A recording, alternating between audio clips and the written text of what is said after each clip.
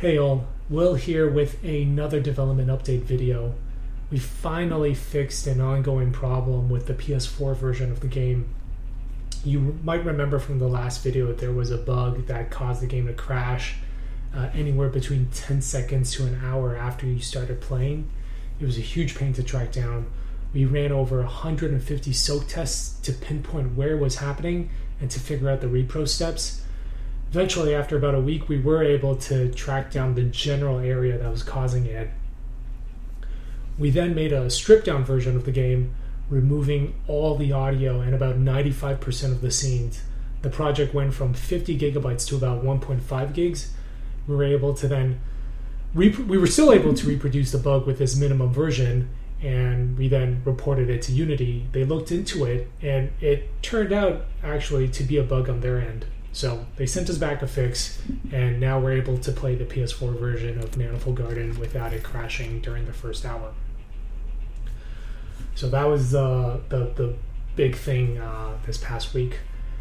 Besides that, we've been focusing on level design and general bug fixing. We've tracked down several memory leaks and also fixed a few shader issues. We've also started to work on Steam integration, getting achievements in, and so on. Aaron is now going to talk about a recent bug he fixed where water wasn't saving properly. Hey everyone, Aaron from the Manifold Garden dev team here, bringing you a short explanation video on one of the bugs we fixed recently, uh, because it's a very good example of how some of the systems in Manifold Garden interact kind of strangely with one another uh, and produce kind of weird results. Uh, so part of the way through Manifold Garden, players will interact with these water streams.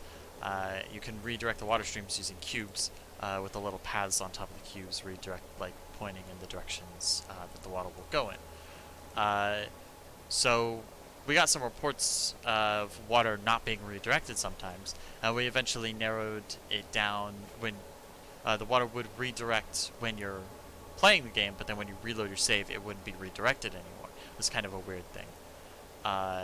So we eventually narrowed it down to the placement of the cube uh, on the water stream actually determines whether or not it'll be redirected when you load the save. So if I reload the save right now, uh, the water stream would redirect fine because the cube is basically on the center with the water stream. But if I move the cube a little bit to the right, uh, it's no longer directly centered on the water stream. You can see that this side is a lot closer to the edge than this side is. Uh, and now if I reload the save, it would uh, not redirect the water stream correctly and I'm going to show that right now.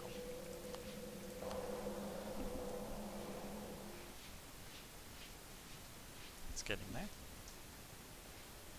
There we go. So now you can see that the water stream is not being redirected, even though I just reloaded the save where it was being redirected a moment ago. Um, eventually, uh, through a bunch of trial and error, I checked the save system to see if the water maybe thought it was being redirected, like there was a flag set somewhere, but it actually wasn't being redirected. I wasn't sure. Uh, but after checking through all the systems and everything, I discovered that uh, cu the cube colliders are acting a little bit funky. Uh, we actually, for cubes, have two colliders. We have the box collider, which is what you would expect. It's the collider that's in the shape of the cube to uh, help it, you know, not go through the floor. Uh, and then we also have a sphere collider, which is a little bit weird because why would you have a sphere collider on a cube? Well, the reason we have that is because if you drag a perfect cube collider across the ground, sometimes it'll get caught on the edges of colliders and stuff like that, and then the player drops it because they like ran past it or whatever, you know. It just didn't feel very good. The easiest way to fix this is by adding a sphere collider that is ever so slightly larger than the box collider. By doing that, when you're sliding a sphere across the ground, you're actually touching the the bottom of the cube is actually being uh, this sphere instead of the actual edge of the cube. That means when you run over an edge or something like that, it just bumps over the sphere instead of getting caught on the corner of a cube. So it just makes the game feel a lot better. The issue is, those sphere colliders that are helping smooth everything out, they're only supposed to be enabled while you're holding the cube, not when the game loads the cube, which is what's happening right now. As you can see, I'm not holding this cube, but it has the sphere collider enabled on it right now. This is the cube that I was just looking at, because that's my camera. Um, this is very clearly wrong.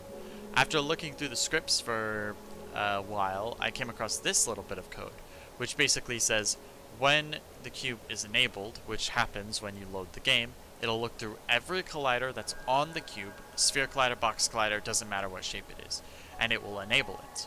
So that's obviously not what we want, because sphere colliders are only supposed to be enabled while you're holding the cube. Uh, the fix for this is very simple. We just need to check if the collider is a sphere collider, we skip it. If it's not a sphere collider, so if this collider is not a sphere collider, then we enable it. So this makes it um, so that whenever a cube is first loaded, it'll be like, okay, uh, looking through this object here, we have this, none of these are colliders, so it doesn't care about them. It sees, okay, here's a sphere collider.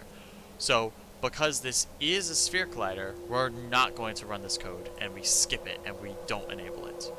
Uh, and then, sorry, I clicked that on exit. Uh, and then it gets to the box collider, it's like, okay, we need to enable the box collider. Um, so making that small change actually fixes this bug. Uh, I recompiled it. One second. So I'm actually going to reload the save here and show you that it's fixed. It'll need a second to recompile.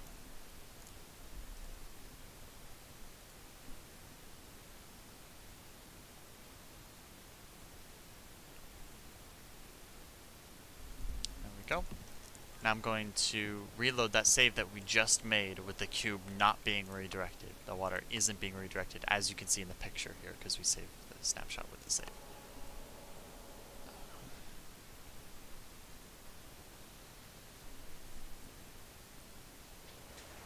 And there we go. Now that the save is reloaded, you can see that the water is very clearly being redirected by the cube. And if we go check the cube uh, in the inspector here, you will actually see that the cube has sphere collider off, but the box collider's on, just like I uh, was explaining. So yeah, that's uh, that's what that bug was and how we fixed it. It was a pretty simple fix for something that was kind of a weird issue. That's it for this time. This video is a bit shorter than the other ones we've done because a lot of the console stuff we're doing now we're not allowed to talk about. And also, it's just a lot of content production. We're just grinding away. But we're, we're making progress, and that's all that's important.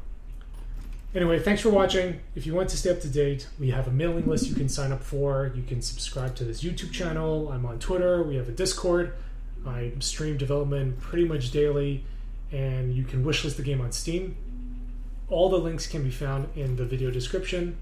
That's it for this time. Thank you for the support, and I will see you around.